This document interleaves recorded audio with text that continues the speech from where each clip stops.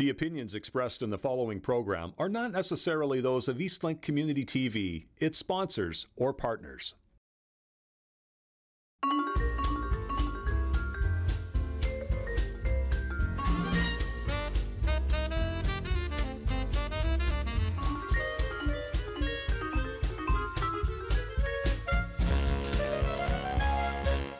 G's cooking experience. Hello and welcome again to a new episode of Mama G's Cooking Experience, where today c'est le carnival, and we're going to celebrate by making some traditional French Canadian dishes that are warming your winter heart and bring back lots of fun memories. The first thing that we're going to make today is we're going to make some soft buns, which we're going to follow by some smoked pork hock beans, and we're going to finish off with a traditional pudding chômeur. So let's get started today here at Seasons Pharmacy. Thank you so much. Thank you to Eastlink Community TV for giving me this awesome experience. First things first, guys, I would like to teach you about blooming yeast. Blooming yeast is very easy, but can be seen as a complicated task as some recipes just say throw it in the pot, some recipes say let it bloom, some say use fresh. Here is the trick of the trade. Yeast is a bacteria that needs food to grow. It needs a warm place to live and it needs moisture to, to bloom. So what I tend to do is on top of the regular recipe, if it says that I need yeast, I take a bowl and I always add one teaspoon of sugar. Why sugar? Because sugar feeds the yeast. I go to my sink and I get myself some warm water, preferably 98 degrees, but if you take the palm of your, this part of your hand right here, and you put it under water, and you feel for it to be, just to say that it feels like a little needle going in, that's the perfect temperature. If it's too hot and your skin turns red instantly, it's too hot, it's gonna kill your yeast. So I have one teaspoon of sugar. I'm gonna put the approximation of one cup of warm water. Then from there, I take a spoon and I stir the sugar in the water to dissolve. This way it happens to feed the yeast faster. Now I've measured out one tablespoon of water as well. And so what I do is I just gently sprinkle it over top of the water, trying to make sure that I cover all of the water space. And I take my spoon again, I do the sides, and I just give it a quick stir. Now don't try to break anything, just try to make sure that you get all the yeast particles off of your spoon because you want that stuff in there. Ooh, she's being tricky. So with this, all I'm going to do is I'm going to let this put on the side and I'm going to let it sit for 10 minutes and it'll grow. Now, once, once it's grown, it looks like this. It'll puff up, it'll be airy, it's going to look like, it'll move like jello, and that's perfect to go. This soft bun recipe is quite common and we would eat this bun particularly on a Sunday afternoon or if somebody was making a soup or a potage or a stew. This is something that families would make. I know my family would make it often. So here we go, nice and easy, no big problems. Got three cups of all-purpose flour here, which I use John Hayhoe, which is brought to you by K2 Milling um, Ontario. Then here I have a third cup of sugar. Mix that in there. I'm going to pop in, crack one egg. Now, when you're cracking eggs, guys, always make sure to crack it in a separate container before you dump it into your uh, product because if you drop a shell in there, it's really hard to get a shell out of flour. It, it's just tough.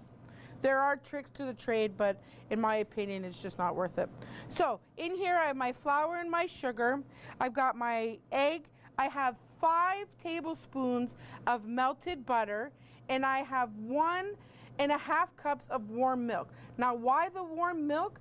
The warm milk is gonna help the dough uh, create its gluten a little bit faster. Now, I'm doing mine today in a bowl, but you are more than welcome to use a stand mixer and put everything in the mixer at the same time. Run it on two or medium for at least eight minutes pull it off the dough hook and stuff. But I'm going to show you how to do it by hand because it is that, that simple.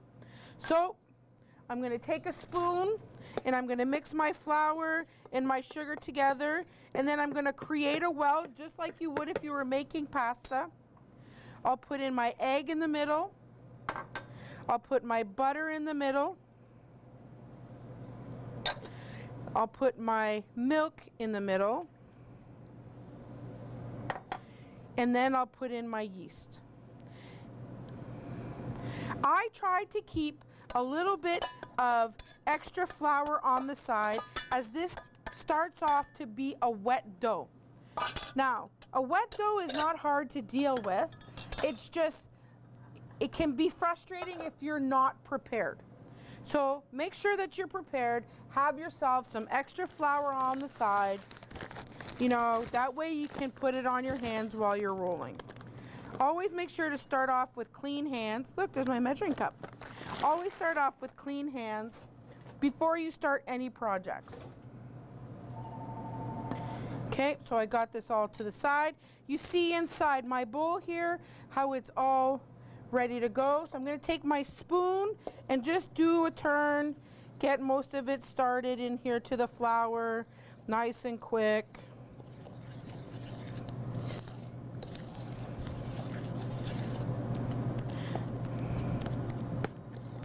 The sugar, the milk, and the butter is what will make the bread soft. So see here, you got yourself a quick, looks like doughy, looks almost like pancake batter, right? So from there, you're gonna add a little bit more flour. I'm gonna add at least three quarters of a cup. Do it in stages, guys. Don't just throw it all in because once you put it in, then you got to add some more flour to more liquid to it. You don't want to do that.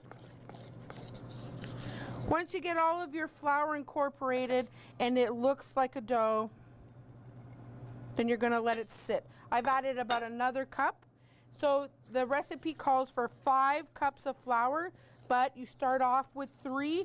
That way your yeast, your sugar, your butter, your milk are all incorporated and it's not lumpy. So as this has got more incorporated, you'll see it'll create a ball, a sticky ball, which is fine, which is what you want. And from there, we're just gonna let it sit. So here you go. We're gonna let this sit in proof, and when we come back, we can get our beans into our crock pot, and then we'll be able to form up our balls. Mama G's cooking experience. Kitchen and recipe ingredients provided by Seasons Pharmacy and Culinaria, 815 Lawrence Street, Sudbury.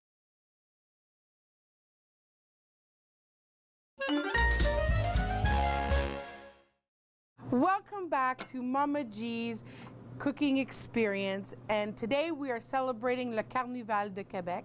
First I want to take two seconds to thank Marie Sauce for this beautiful apron in which she created for today's episode.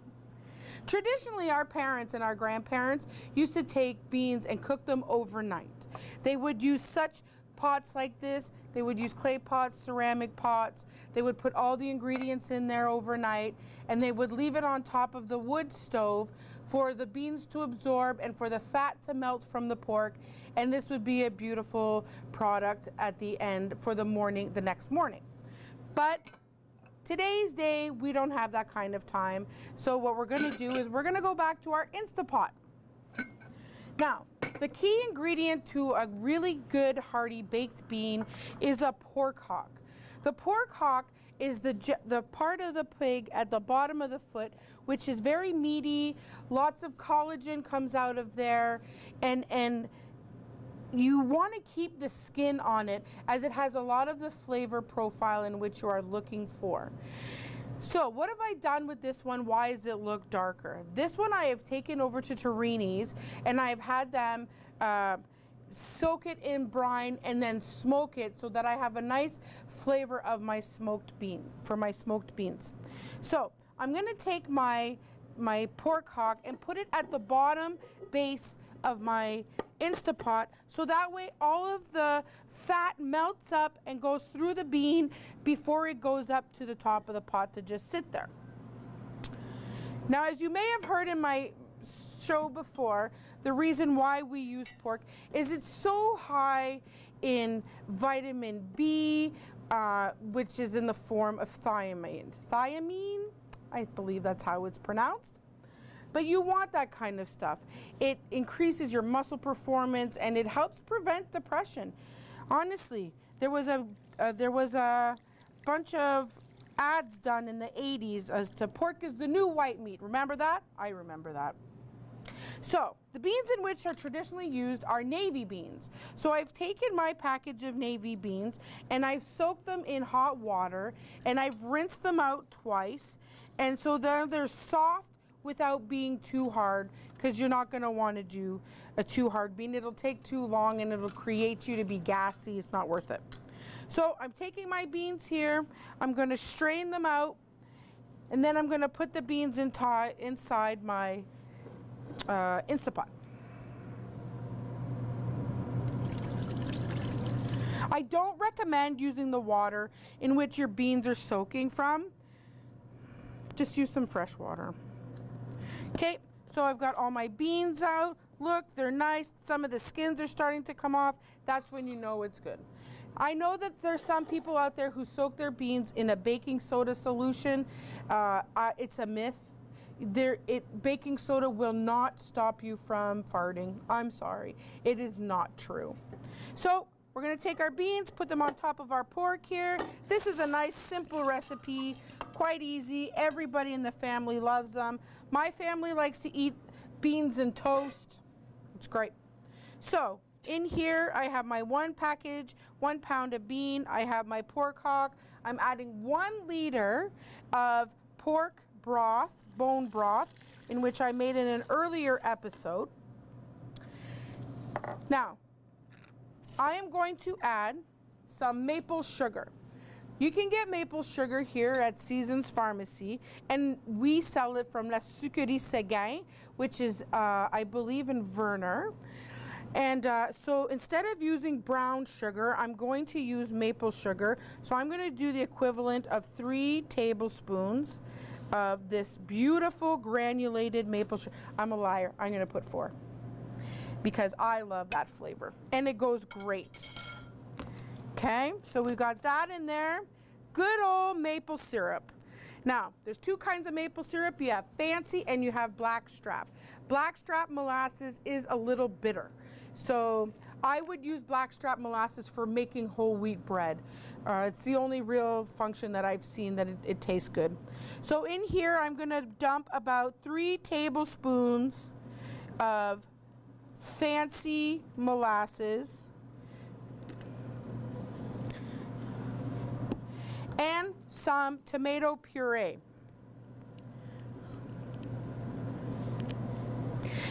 You ever notice at the bottom of the cap, there's like a little pin thing here? That's so that you can pierce your hole.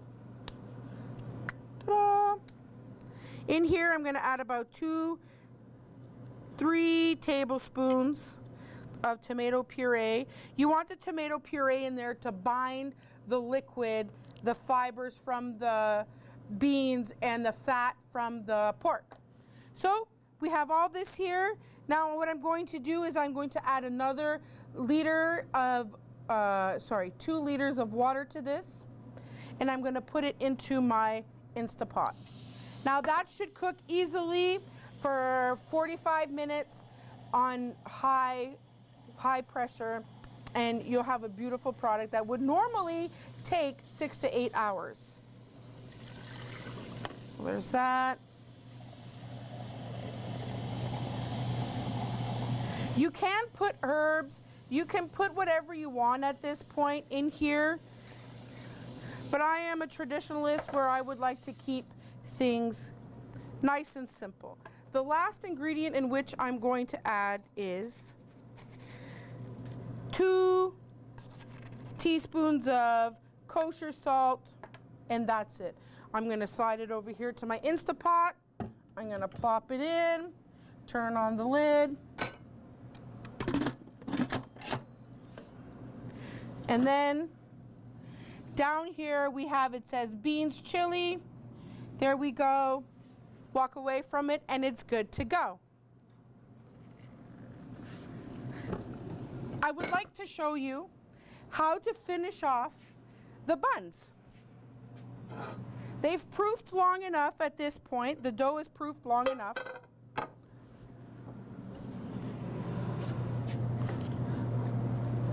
I've got a bowl of flour. I've got my wet towel over my bread. And I'm just going to show you a little bit.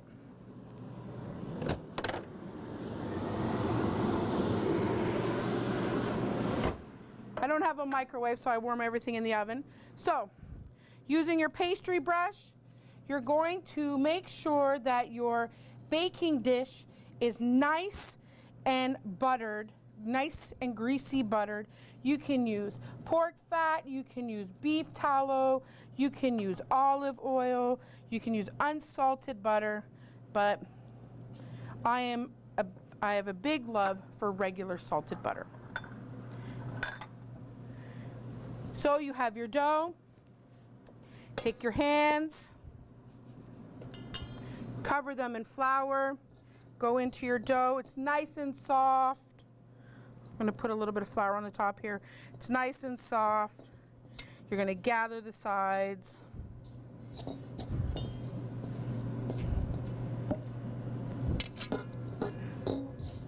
See, it formed a nice ball.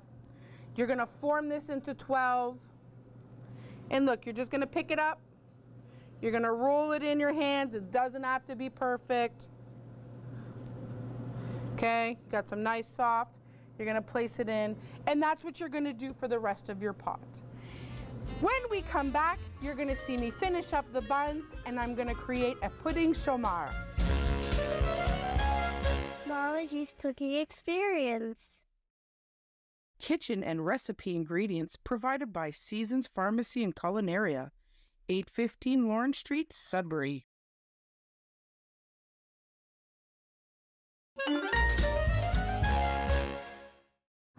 Welcome back to Mama G's Cooking Experience brought to you by Eastlink Community TV. I'm here at Seasons and to finish off our Le Carnival episode, I'm going to show you a quick and easy family fun recipe that everybody loves and your kids can make. So, you're going to grab yourself a deep dish pie tin. You're going to get yourself some melted butter. You're going to grease it all up, making sure that you get the sides really, really well. Okay? In your bowl, you're going to take yourself, you're going to do one and a half cups of flour. Then we're going to add one teaspoon of baking powder. When measuring with regular spoons, make sure that things are flat. Uh, if you do a heaping, then it could be twice and it would just, you'll have like that tangy taste in the back of your mouth. So in here I have flour, baking soda, I'm going to add one cup of sugar, but I'm going to add maple sugar. The reason why I'm going to add maple sugar is because it has a nicer flavor and it's easier for the body to absorb and to digest. So I've got one, one, and one. Again, making sure that it's all nice and flat.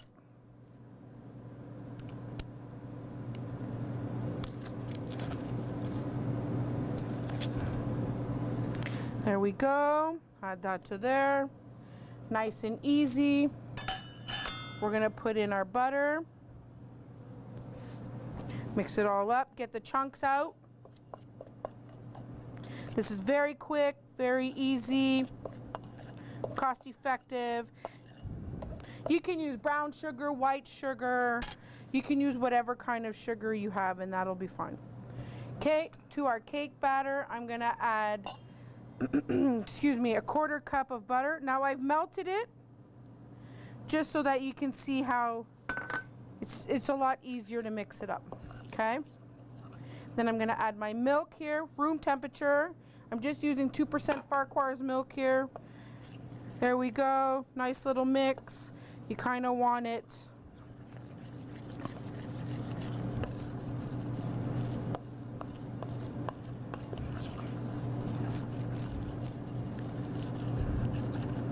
It's gonna like crepe batter.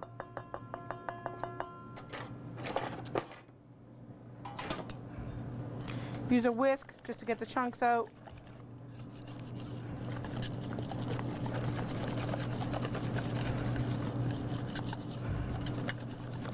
Okay, it's gonna thicken up. Get your pan. Pour your batter in your pan. Now you can also mix this right in the pan. You don't have to dirty a bowl.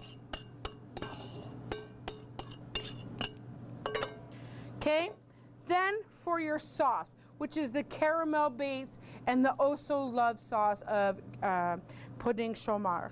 In a bowl, I have measured out one cup of brown sugar and one cup of maple sugar. Now, the original recipe calls for one cup of brown sugar and one cup of maple syrup. Now, I'm not going to be using the maple syrup. I'm going to use the brown, the maple sugar. So I'm going to break up all my maple, all my uh, brown sugar, because you know how you get the chunks sometimes? You just want to break it up and pour it on top of everything here. The same thing, and you're going to say, Gates, that's so much sugar. Why? Why would you use so much? It's just the way the recipe goes, guys. That's why people love it so much. And you want the sugar to caramelize once it's cooking as well. Okay, so I got all that beautiful sugar put on top. Get your boiling water happening in your kettle. Okay, take your measuring cup, one cup of hot boiling water. You're going to drizzle it over your sugar and your cake mix. Do not mix it. Okay, just drizzle it over. Let it dissolve a little bit. This is what's going to create your caramel sauce. From here, guys, you're going to take your pie, your, your container, you're going to put it in the oven at 350 degrees, and you're going to let it cook for 45 minutes. If you feel, once 45 minutes is up, that it's still too liquidy, this is the type of cake that you can leave in the oven until you are completely satisfied. So put this in the oven, use your toothpick to make sure that it's nice coming out clean and dry, and then you're gonna see that it's perfect. You're gonna pull it out. And we'll be right back with the finishing of the beans, the buns, and the pudding chômeur. So now that our buns have come out of the oven, what we're gonna do is you're just gonna wanna take your pastry brush with a little bit of melted butter and just butter the tops of them. They're nice and soft. You want the buttery on the outside, that way you don't need to have it all on the inside. Right? Looks delicious. I've taken the beans out of the Instapot. Now, pro tip guys, if you feel like your beans are not cooked long enough, just put them back in. You can put them in for another hour or you can take some of your liquid out. So we put in three, li three liters. You could put yourself an easy two and a half liters and then you'll be fine. You have just as great of a product. I've also taken out the pudding chômeur. It's got a nice, beautiful golden colored sauce on the bottom. And so I've plated up the beans here. I've got some nice chunks of the meat. I'm gonna dish out. As you can see, all the brown sugar and the sauce went to the bottom. The maple sauce went to the bottom. You're gonna pull some out. You're gonna put it in your bowl. This is where you want all of this beautiful caramel sauce on top. Put that there. Now, my grandma used to put a little bit of cream on the top. So I'm just gonna put a little bit of cream on the top because nothing says heart health like cream and sugar. So we've got our beautiful dessert here. We've got some beautiful smoked baked beans here. A nice soft bun, comes apart, so beautiful. dip it into your bread, and there you go.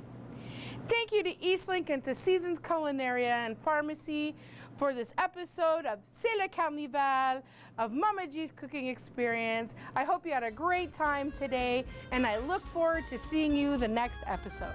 Have a great day.